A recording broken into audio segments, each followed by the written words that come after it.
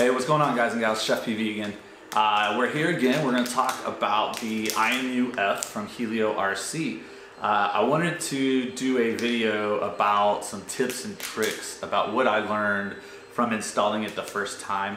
Uh, there was there's great documentation, just like everything. There's, they're trying to do their best to make sure documentation is there. Uh, but as fast as things move and with little small you know things being brought up here and there, uh, I just wanted to kind of give my my thoughts and my feelings on um, the best way to go about installing it and some of the things you need to look for. So. Um, first off, the Spring IMU-F from Helio RC, brand new hardware here. Uh, they're using F4, F3 processors. If you've seen any of my videos, the F3 is filtering all the data before it hits the F4 uh, and the gyro and all that stuff. So a really new way of looking at uh, flight control data and, and, pulling it in for what we're doing. Um, really cool thing is there's really not a lot out there like it. Um, so your experience on it is going to be pretty pretty interesting. Um, I'll tell you this, you're not going to get the smoothest quad out of just dropping this in there necessarily. Uh, if you have other Butterflight builds that you've uh, already put Butterflight on an F4 or an F3, you're probably going to experience an out-the-box feel for those a little bit better. Um, only because what you're feeling in the Butterflight on that side is it's it's the filtering, it's different filtering, right? You're already doing some filtering, so the change is not that that incredibly different. It's just basically adding butter. It's just buttering it up. Um, which brings me to the thing. Helio RC and Butterflight are two separate entities. Um, Kaylin, who used to be on Raceflight and everybody knows, and before we get into all that, who cares? Uh, moved over from Raceflight and was starting to contribute the fast Kalman stuff and all that stuff to Betaflight. Well, Betaflight um, was also going through some changes, some things are going on, and instead of being a full-time contributor only to Betaflight, Kalen decided that he wanted to contribute in other areas, and he and his team of Sean, Tim, and Kalen, um, Sean being the principal partner and, and Kalen and Tim being partners, uh, started Helio RC, and they started looking at this flight controller and developing hardware. So they developed the Helio RC hardware. So that's Helio RC. Uh, loose transistor and APOC from the developer side split off and forked the Betaflight into Butterflight. This was because the fast Kalmans and all those things were being put on hold and frozen, and some changes were being done. Uh, and it, in regard to just wanting to be, you know, move forward with some stuff that wasn't currently being moved forward with, so they split and they forked. They asked Kalen, and I'm, you know, fast Kalmans and all that is Kalen, I believe, as as far as his. I should, I'm not 100 percent right, but I, I think is his his thing. So you know, he's contributing in that area. So Helio RC is making recommendations on firmwares, not just at Butterflight. They have hardware that is agnostic. Um, Helio RC hardware should be able to run on anything that anybody wants to write code for it. Uh, that's the whole point, right? So it's not like the Raceflight hardware and software or the KISS hardware and software that's not agnostic. They're proprietary uh, you have to have you know a Raceflight 1 Revolt to, or Raceflight Revolt to run Raceflight 1. You have to have a KISS flight controller to run KISS software, uh, flight software. So with the Helio RC, you don't. I mean, there's no, it's agnostic as well. Um, but the new revolutionary, I you know, IM, IMFU or IMU-F uh, F3 filtering with the F4 off to the side, doing all the data and all the control processing, um, really makes for a different experience. So you're gonna have this butterfly, really great revolt or your really buttery quads that are already tuned. You're gonna drop this in and more than likely you're gonna have some oscillations and stuff. You're gonna have to retune. Um, and I'm starting to learn the new retune. So that's where this kind of comes in is I'm trying to give some tips and tricks. So I'm not gonna get into the tuning side. That's gonna come in further videos once I get my quad tuned the way I want it. Um, but the resolution of feel is completely, it's it's 100% better if not a thousand percent better in this than anything I've flown.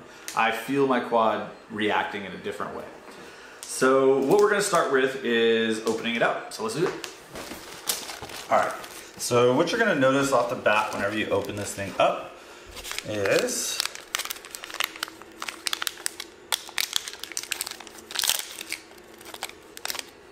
There's the board. There's your gummy. That's the one you can eat. And here are the other gummies. So really cool thing is these gummies actually, first of all, these gummies are the best gummies I've ever seen. They're low profile. Yeah. very low profile. So when they're on there and everything's buttoned up, it's not too much for a nylon standoff actually. They fit nicely. So that was really cool I thought that the gummies for once were the right size so I don't have to get extra long screws. So here's our gummy for our mouth for us to eat. So we're gonna pop this in while we take a look at this board. Mmm, delicious. All right, so the other thing you'll notice is that's all that come in the package.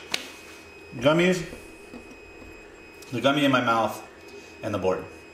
So it does have a ESC and PDB uh, Molex plug. The problem is it doesn't come with it. And the other problem is it's an 8 pin plug. It's an 8 pin plug, but it's also an 8 pin plug that is one of two different sizes that come in the same size header. So you may or may not actually have these headers already made or already in your bin. What I mean by that is, I'll show you the difference between two 8 pins. So what I'll show you is uh, on this screen now you see these two header pins and they basically are the exact same size. However, one's an 8 pin header and one is a 6 pin header. So it's easy to see how if you put the wrong header you could actually smash the pins inside the, the connector and actually ruin the board. And more so, the reason I show this is if you use these fat headers and you stick them into a smaller header, they'll actually fit. But what, what happen is they will not actually connect into the port and actually get you a signal. So I've actually already helped myself and another person who had a very similar issue where their signal pins were too big and when they pushed them in, they were only getting contact on two of the pins, not on all four. Well, come to find out, like I did, they built their own header and they went ahead and used two fat ones. So it just didn't work. So if you're going to build your own out of your box, make sure you use the right header pins, okay? So there was one thing I wanted to quickly uh, add in. Uh, if you are connecting your VBAT, which I think everybody should, connect your VBAT pads. And if you are, you do not at all need to bridge. In fact, do not ever bridge either connector if you're using VBAT plugged in over here. Uh, if you have VBAT running, that VBAT power is actually going to power the 5 volt regulator for you.